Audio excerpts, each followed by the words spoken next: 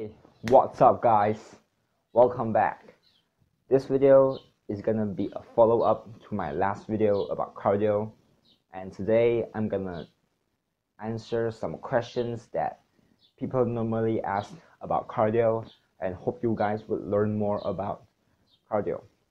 So the first question of the day is cardio catabolic.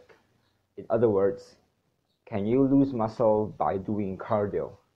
And the answer is no and yes. If you do the right amount of cardio, you won't lose a huge amount of muscle. Yes, you will lose muscle because when you're in a caloric deficit, you will lose fat as well as muscle, but the amount of fat loss is way more bigger than the amount of your muscle loss. So if you do too much of cardio, um, maybe let's say two rounds of 60 minute sessions per day, then that's too much for cardio and your body will lose muscle because when your body is doing cardio, it needs that instant fuel to supply energy to the body. So to have that instant fuel, your body will break down muscle glycogen rather than fat because muscle glycogen is more easy to be broken down and supply energy. So when your muscle glycogen is broken down, that means you are losing muscle.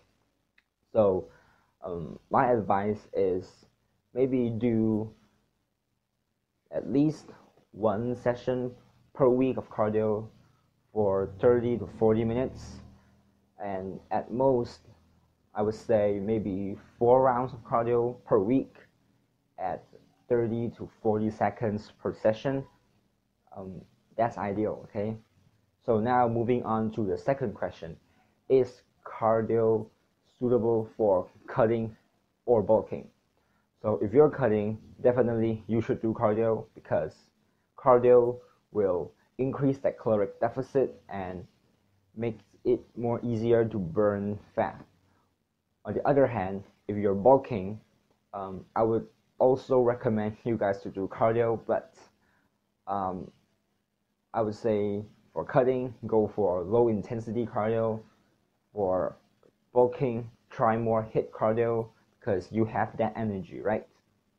So the reason why I encourage people to do cardio when they're bulking is because one, um, that cardio will increase the appetite and help you guys eat more calories, especially for those who can't eat that much of calories in a day.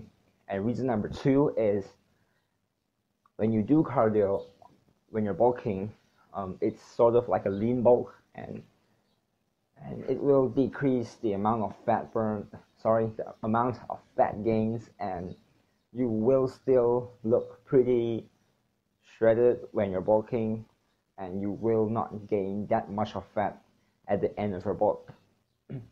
so question number three, are calories burned displayed on devices accurate?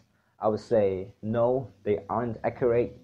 Um, that's because different brands, they have different ways to track your calories burned and um, I would say if you really want to track those calories, stick with the same brand and the same equipment for all the time.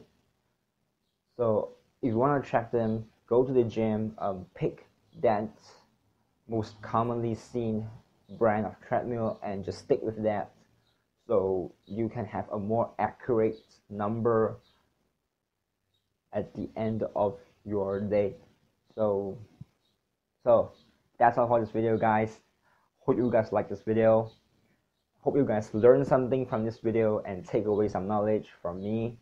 If you like this video, please give it a like.